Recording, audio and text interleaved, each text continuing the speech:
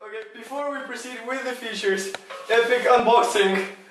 One box, one, two, three, four, five duct tapes. Let's get to it.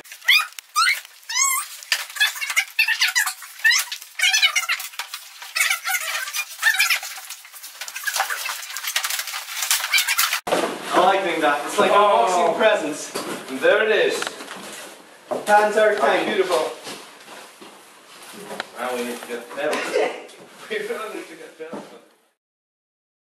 The epic idea of this bike, like the most awesome idea according to the list, epic list I have, and according to many other websites, and to my own knowledge, it's a modular concept. Modular concept. What does it mean? It means that literally every single piece of bike can be removed and replaced independently.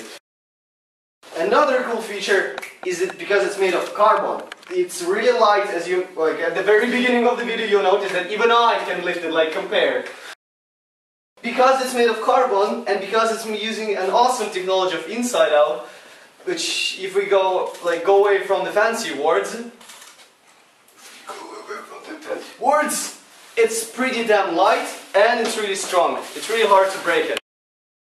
First, it's modular, meaning you can fix any part. Second, it's made of carbon, a pretty strong material. And third one, it's um, it's been made in a way that insides um, are actually empty, but it doesn't lose its like protection level, if you couldn't put it this way. Durability is the same and it's pretty hard to break. So which makes it lightweight, but really hard to break.